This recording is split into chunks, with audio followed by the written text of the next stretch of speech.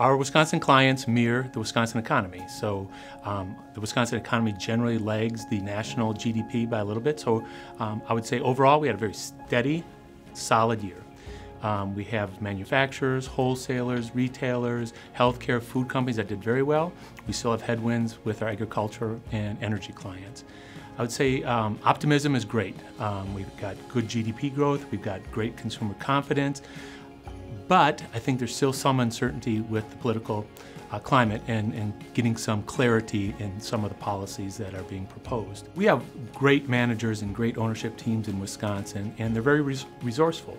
They find ways to do more with less. They find opportunities to transform their business in the face of a changing business environment. To be successful, our companies have to react to what's presented to them.